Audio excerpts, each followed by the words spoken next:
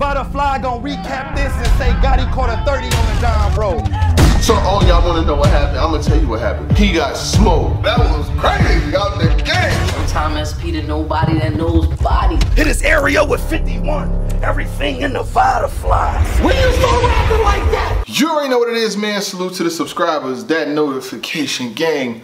RiceGangClothing.com for the merchandise. You heard me right. Salute to everybody who watches this content, whether religiously or in passing. I hear I hear everybody out there talking, you know, making blogs, tweets. It's so much going on right now, and I must say, salute to every single one of y'all out there, you know, getting to it and grinding, man. Whether you love it or hate it, you know, it is what it is. But uh, for the sake of the argument, I would love for my subscriber base to jump in this comment, jump in the comments below, and do you consider myself and Showtime SP low tier bloggers, mid tier bloggers, or top tier bloggers. I think that's all for the interpretation of the fans. I would never say I'm this or I'm that because at the end of the day, it is what it is. You know, I mean, we say a lot, we play a lot, we get paid a lot. So I mean, you know, it really doesn't matter. I mean, I think the views speak for themselves. You know, I, I don't I don't have much more to say on that.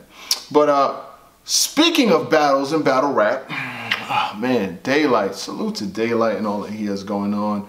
Uh, Top Dog Entertainment, Daylyt, He's going to be introduced with the new class, the new members of TDE. I go back to this alley stacking my word flex. And Dexter Cali Trooper, the future lacking the herb. Trouble, fell in love with double cups, all these cats is observed. Cannon blow, animals in your circle, that's what I heard. Word jungle rumble, they painting, they training day for big fails. Didn't sell me the street light with clip shells. I shall be back with backup, stack up. The G's never rack up. The Mac up, sharp point on attackers, we on shark point. No long naps tapped in this permanent. Bro, bro got his whole dome capped, he trapped in the firmament. We calling that the way we behave. This is how all men act in thug environments. So we pass respect Block Mass rejected Fable. If I sign to a label, then it's Akashic Records able me to be a label mate with no fucks given. I'm celibate, they asking me how my mind chastity built it. My brain fried, the other side, we are on the same side.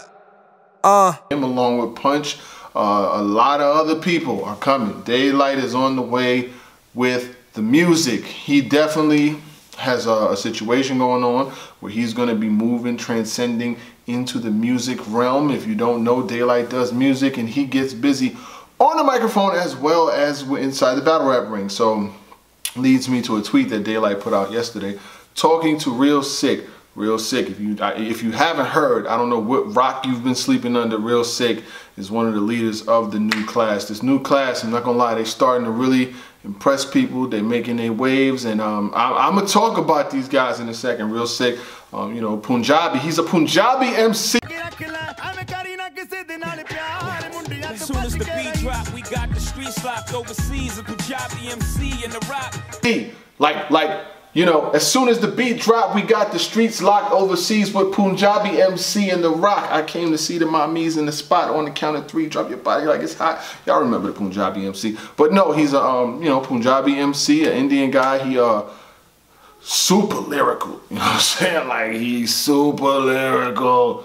He whooped B Magic's ass so bad the other week. I just titled it Real Sikh. Whoops the dog shot at B Magic. I'm sorry. Um, this kid got some talent. He's from Jersey. I haven't seen him really get the Jersey cosign yet. You know, the real Jersey, Jersey cosign. But you know what though? I'm cool with that. Real Sikh, don't you don't want to be you don't want a jersey, you know what I'm saying? Like you don't really want to you want to represent Jersey, but you don't want a jersey. If you get what I'm saying, you don't want to do what Jersey's been known. Jersey. Um, real dope MC, man. Uh, humble kid. I've seen him in you know his interviews and stuff like that, and in his battles. Uh, shows a lot of respect. You know what I'm saying? And um, he he's honing this craft. He's he's on his way up he's on his way up. You know what I'm saying? He's on social media. I don't follow him on Twitter. He don't follow me on. We need to follow each other on Twitter Real Sikh. I, I rock what you do, man. Um, but uh, you know, he's he's making waves, and you know, he he definitely he came through. Um, I believe, you know, don't don't quote me. I believe he came through UW iBattle-ish, like a UW iBattle situation. He had battles on UW. He has battles on iBattle and now he's on Ultimate Rap League. He's making his way through. He's he's he's not playing no games. Um, I'm pretty sure we're gonna see more of him. And to get someone like Daylyt calling you out, Daylyt don't battle many people. They, on URL, Daylyt has Mike P, Tay Roc. That's it. Resume done. Daylyt says, Ayo, Real Sikh 99. I might have to have a few words with you soon, sir. I might want to bring you to heaven. See you soon. Daylyt doesn't call anybody out. Now, I know we knew Daylyt for a lot of trolling back in the days and shit that he was doing like that, but it is what it is. He has moved on and he has moved on and done what he's doing. But now he has become a focal point, a large figure in battle rap, and now you cannot take anything away from the accomplishments and the things that he did. His last performance versus Tay Roc was the best performance of 2020 and still has not been surpassed. Call it what you want. It's not been surpassed yet. Um, Real Sikh did reply, I'll meet you up there. Let's get it. And then, you know, Eazy the Block Captain said, let's effing go. This class is very different. This class, I will say, this class is very different in a number of ways. From the way that they support each other, like you'll see Kid Chaos, Eazy the Block Captains, Lu Castro's, Real Six, um, all these guys. Whenever one does something good, they'll repost it, they'll retweet it, they'll they'll show admiration and show love like they're moving as a group. Even though they battle each other, like they'll bring smoke to each other at any moment's notice, but Real Sikh is definitely up there with the leaders of this class. Between between him, between Eazy the Block Captain, who has T-Top coming up. Now, a battle between him and Daylyt would be insane. Um, but here's why I don't think it'll happen. This is just me being Giannis, you know what I'm saying? Keep it a buck, you gotta be Giannis. I don't think it would happen because what Daylyt is worth, slash what he cost, and slash what he brings, like I just don't see him coming down anytime soon. After that last performance and the way he moves as far as business and things are going, he's gonna want like he'll want an astronomical amount of money to take a rookie MC. Like he did it back in the days versus a Mike P when Mike P was a rookie, and then you see how that battle was. That battle was good in itself too. But I just think you when you get far gone, you know, you on the label now, he's doing the TDE thing, he's got the music shit going. I don't I just don't see it happening. You know what I'm saying? But it's a good thought to even be getting called out by an MC like that, to get called out by someone like a Daylyt, even if it's just for entertainment purposes, it starts to move the wheel. You know what I'm saying? URL reposts it. Other people start talking about it. You know, uh, bigger channels than me. You know what I'm saying? I'm just low tier shit. But bigger joint. You know what I'm saying? They start talking about uh, a potential battle between you and Daylyt, and I definitely think that let's just speak for the the shit's sake of it. If it was to happen, uh, that would be a very interesting battle. Um, obviously, most people would pick Daylyt because of the experience and the things that he's able to do. But Real Sikh ain't no game. Like like he's going to be here for a while. He doesn't look like one of those guys that's into what comes with battle rap. See, the problem is with some of the other classes, you had MCs that were, to me, and this is no knock on anyone, you know what I'm saying? Like, who am I? I'm just a nigga with a camera, you know much hated one too. But um, the problem with some of the other classes is some of the MCs loved more of what came with battle rap than actually battle rap. And, and I know that you're like, what? What is he talking? The numbers, the fame, the notoriety, the followers, the fucking everything that comes with it. See, with battle rap, you get a following. You know what I'm saying? Like that's the reason why I don't argue with these niggas because we all got a following. Like I'll have 20,000 on Twitter, 60 something thousand on YouTube, 10 grand on Instagram. That you know what I'm saying? Like, and I don't even do Facebook. So it's like you have such a big, you have a following of people, and with the following comes the attention, comes chicks, it all is it's just battle rap. It is what it is. Like that's going to come with it.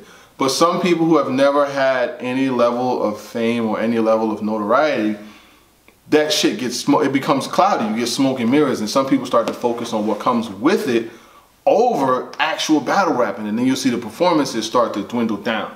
Well, in this class, some of the best MCs in this class are either in long term some of the guys, you know what I'm saying? I seen um, um, when I seen Real Sikh on Instagram, I think I seen a picture of him and his girl and an Eazy the Block Cap, you know, him and Duas together. So these guys are really focused on rap. You know what I'm saying? Like they want to smoke you. These niggas is focused on rap. They're not coming in for no extra shit.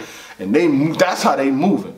But in some of the other classes, I seen MCs, I've seen it happen. They get caught up with the broads, and there's nothing wrong with that. Listen, you could mess with somebody different every week if you want to. As long as you protect yourself and not out here having kids, you can do whatever you want.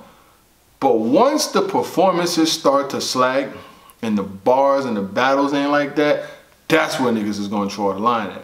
When the battles ain't meeting up to the bullshit that comes along with it, niggas getting into fights, niggas starting to, you know, run off, we're on different leagues, taking all these fucking battles everywhere. When that when the shit don't add up, you know, the tolerance, the, the bullshit and the tolerance gotta equal up. When the bullshit is above the tolerance of the fans, that's when the fans are gonna flip on you and they're gonna just say, you know what, it's not even worth it. But I will say, this class right here has not yet, has not yet, it's not like it can't happen. They haven't had that one guy that's just gonna blow all the way up like Geechi Gotti level, Nu Jerzey Twork level. And I know he's had his ups and downs and shit like that, but they're gonna bring him back. Come on, you got too much invested in him. Uh, that that next level superstar, and I know it's not a lot of stages around right now, so you can't really tell who's gonna do what on the big stage and shit like that. But there's a lot of potential guys who could take the next step to the next level, and it's exciting to see. But I put this class as a collection of talent. I will put them slightly above the last class. It is what it is. I, like they're reason they got five or six or seven or eight guys. The last class probably had two, three. Uh, you know, you had the class with Twork and Jack and all of them. Big stage stars, you had Geechi Gotti and Twork, and then the rest, you know, you had some guys who may have got a big card here and there. But this class right here got a fucking lineup. That's all I'm saying. Uh, if him and Daylyt saw each other, that shit would be very interesting. We're gonna see where it goes. Uh, you already know what it do and what it does, so you ain't gotta ask what it was. Salute to every single one of y'all out there that watch this content. I'm thankful. Keep rocking with us. We're gonna keep rocking with y'all. Uh-huh.